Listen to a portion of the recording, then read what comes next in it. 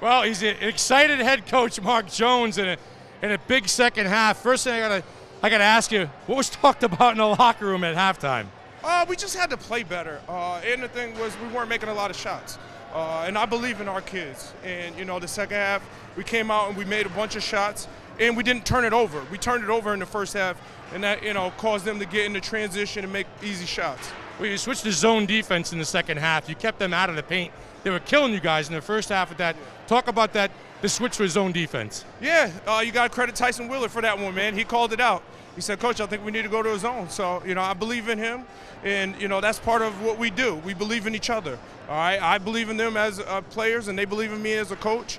And they just did an unbelievable job. I'm just so proud of them, man. What'd you learn about your basketball team tonight, Coach? Down by eight, you know, down by 14 at times, your ability to come back. What'd you learn about your team tonight? We're just resilient, man. Hmm. I mean, this kid right here just came up big.